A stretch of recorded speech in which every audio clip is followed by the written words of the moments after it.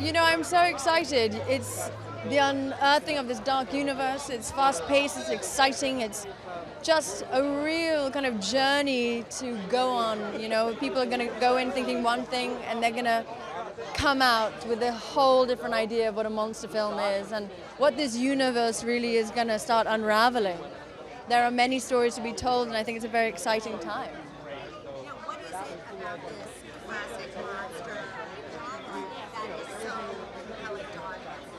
Well, I think great stories are cyclical. They're ones that are forever returning.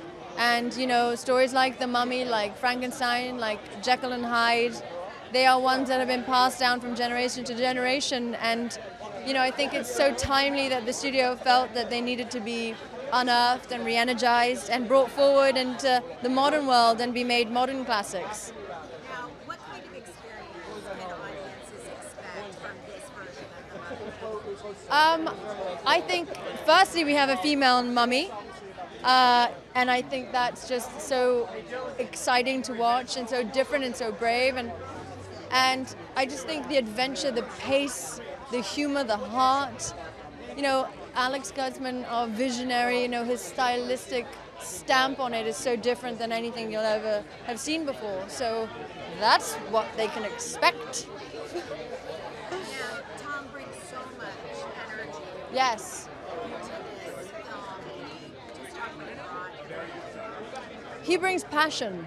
He brings heart. He brings the love of cinema. You know it's it's an energy that when you're around it's infectious but it's an energy that we should all bring to what we do. And if we could we'd be very happy people. And it's a testament to tom and you know his amazing career that he stays true to that he honors that and yeah and it and it spreads through us all so uh, yeah working with people like him is incredibly inspiring Thank you. Thank you very much. Thank you. Thank you.